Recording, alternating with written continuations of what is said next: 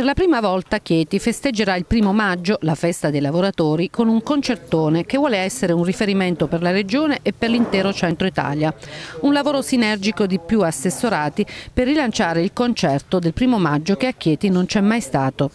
Ci candidiamo a essere un riferimento per il centro Italia perché dopo Roma eh, e Taranto saremo sicuramente una meta ambita per l'intrattenimento musicale e per, eh, e per, quelli che saranno eh, i, le, gli artisti che si esibiranno. Il nome più importante, eh, lo annunciamo proprio oggi, è quello di Morgan con Andy dei Blue Vertigo.